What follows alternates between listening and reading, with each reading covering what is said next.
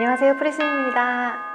소형 꽃꽂이 이 과제 어, 수직형을 한번 만들어 볼 건데요. 수직형은 수평형은 옆으로 퍼지는 수평의 라인들을 중점적으로 꽂았던 것처럼 수직은 위로 올라가는 상승하는 듯한 표현을 해줘야 되는데요. 만약에 밑판이 넓어지게 되면 아주 뾰족한 이등변 삼각형처럼 보일 수가 있는데 수평으로 오는 이 넓이가 가장 좁을수록 어, 높이 올라가는 모양을 더 잘 나타내 줄 수 있습니다. 그래서 이등변 삼각형처럼 보이지 않기 위해서는 굳이 대칭으로 꽃을 꽂지 않을 거고 위로 타고 올라가는 듯한 모양으로 올라가는 수직의 모습을 조금 더 강조해 보도록 할 건데요. 같이 만들어 보겠습니다. 260페이지에 수직과 수평형에 대해서 비교하는 사진이 있는데요. 수평과 수직은 모양에서부터 이미 상반되는 것을 우리가 알 수 있어요. 그런데 오늘 올려드리는 수직형을 잘 이해하셨다면 역티와 L자도 충분히 위로 올라가는 그리고 좁아지는 형태의 수직형을 잘 응용하실 수 있을 거라고 믿습니다. 한번 만들어 볼게요. 자, 수직으로 올라가는 형태의 루스커스를 이용해서 쭉 뻗은 소재를 우리가 일방형이기 때문에 뒤에서부터 중심의 뒤에서부터 시작할 거죠. 조금 휘어져 있는 라인들이 있지만 앞에서 봤을 때 수직이면 꽂으셔도 괜찮아요. 그 대신 뒤로 살짝 10도 정도 기울인 상태로 꽂고 시작하겠습니다.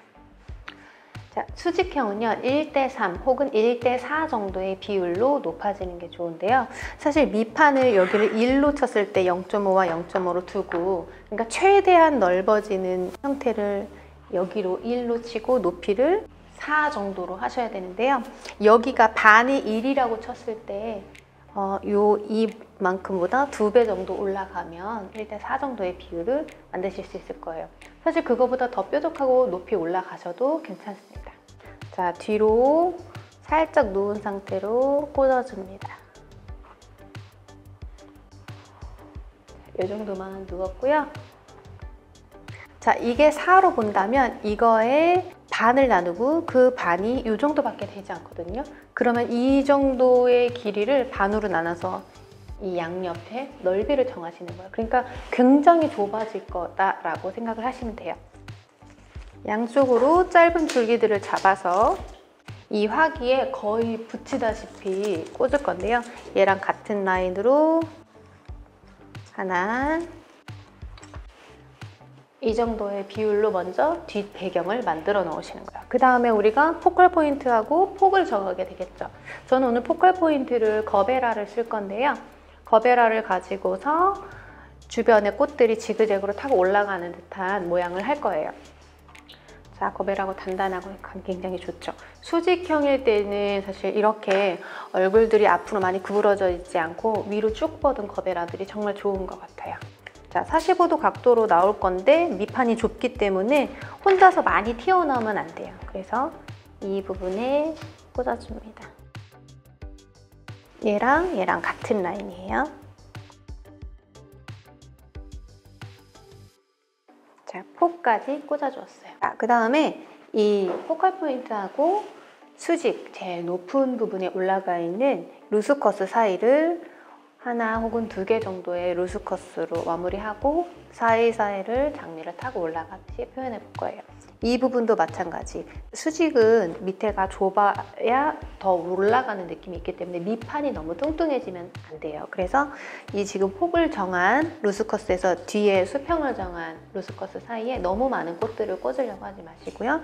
이 focal point 바로 밑에 삼각형으로 이렇게 넣는 꽃 하나 그리고 필러 하나, 그리고 맨 뒤에 있는 루스커스 바로 앞에 꽃 하나 정도만 넣을 거예요.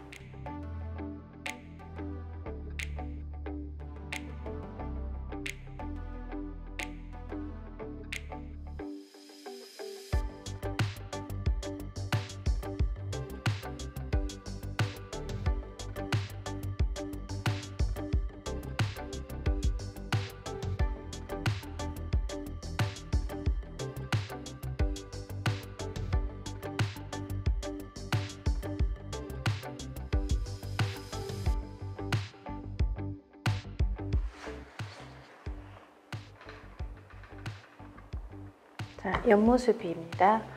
이 수직으로 올라가 있는 거베라나 그 뒤에 루스커스보다 점점 각도가 줄어들면서 앞으로 오고 있어요. 그래서 우리가 제일 주의해야 될 거는 수직형이라고 해서 이 부분이 다 일자이면 안 돼요. 절대 그것도 방사를 지키셔야 되기 때문에 이거 말고는 수직은 없어요. 수직형으로 올라가는 듯이 꽂지만 수직은 하나밖에 없고 이거는 기준이고 그걸 향해서 다 방사를 맞추셔야 됩니다. 자 위로 올라가는 듯한 느낌 했는데요. 사실 책에서는 가장 최소한의 양으로 할 수 있는 것들로만 대문을 해놨어요. 그래서 충분히 그거보다 더 많이 꽃을 넣으실 수 있으니까 이렇게 해서 꽃을 꽂을 수 있구나 라고 여기시면 돼요. 그리고 이쪽 부분은 이제 하나하나 더 꽃을 채우시면 돼요. 자 여기서부터 여기까지 쭉 타고 올라가는 듯이 해야 되니까요. 이 부분에 여기 여기 또 꽃이 하나씩 들어갈 수 있겠죠. 생각보다 수직형도 꽃이 많이 들어가요.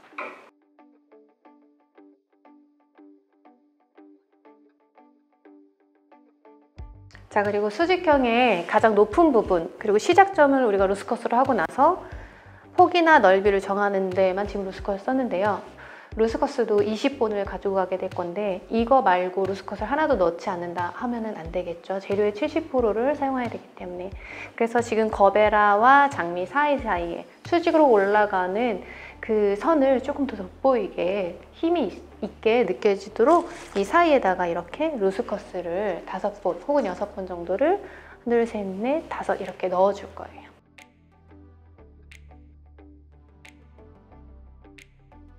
자 그리고 뒤에만 넣어주는 게 아니고 얘네들 사이사이에도 끼워줄 수 있겠죠.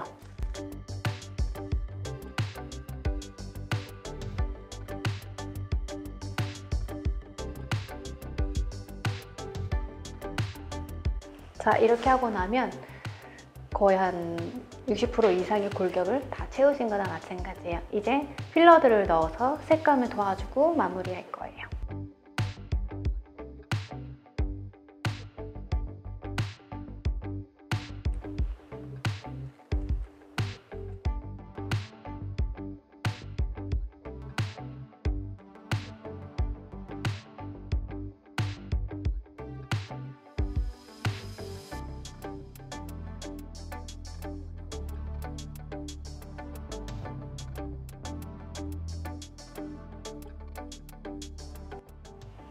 네, 저는 소국 대신 스프레이 카네이션을 선택했는데요.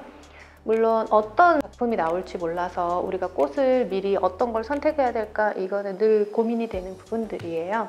근데 내가 자신 있게 소화할 수 있는 소재들을 선택하시는 게 가장 좋고 이 공개 문제라는 그 시험의 특징 그리고 장점은 미리 그것을 가지고 우리가 충분히 연습할 수 있는 시간이 있다는 거거든요. 그래서 그 계절에 맞는 소재들을 찾으시면 좋은데 수국은 언제든지 봄, 여름, 가을, 겨울 다 선택하기에 좋은 재료예요. 그런데 봄이나 그리고 겨울에는 또 특별히 이 스프레이 카네이션을 또 대가 단단하기 때문에 그걸 좋아하시는 분들도 있죠. 얼굴이 예쁘고 가벼우니까 사용하기 좋아하시는 분들이 있어요. 그래서 내가 어떤 꽃과 같이 어우러지게 만드는데 좀 더 효과적인가, 시간을 단축할 수 있나 이런 것도 체크해 보시면서 연습하시면 좋을 것 같아요. 이제 여기에다가 스프레이 카네이션과 편백을 넣고 마무리해 보겠습니다. 처음에 우리가 이 거베라하고 장미를 넣고서 골격을 잡았을 때 미니 장미를 넣었어도 부담이 없을 정도로 흐트러지지 않게 지금 했거든요. 옆에서 보시면은 중간중간에 미니 장미가 다 들어갔어요. 근데 일방형이라고 해서 앞쪽만 꽂시는 게 아니라 이 여기 끝에서부터 이 끝선에도 꽃들이 다 있어야 돼요. 그래서 그것도 생각하시면서 꽂으시면 되겠습니다.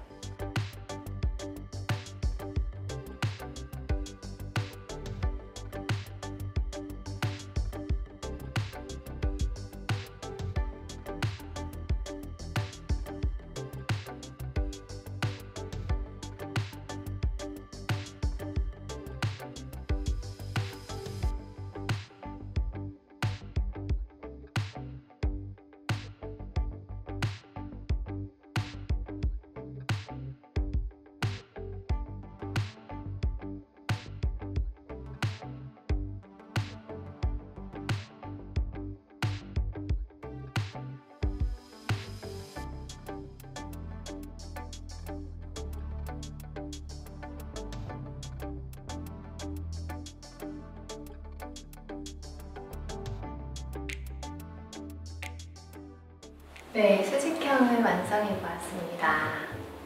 어, 일단 우리가 수직형은 높이가 절대로 이렇게 짧고 밑에가 통통해지면 안 된다라는 거 꼭 기억하시고 1대 4 정도의 비율로 밑에가 좁고 아주 높이 올라가는 형태를 이렇게 하시면 좋을 것 같아요.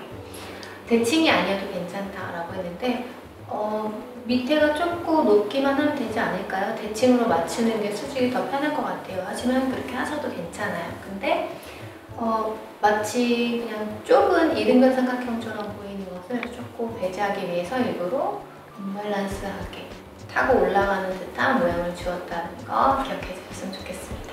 네, 계속 반복해서 연습하시면서 자신감을 갖고 수직형 꼭 성공하시길 바라고요. 프리쌤은 꿈과 같은 여러분을 항상 응원합니다. 고맙습니다.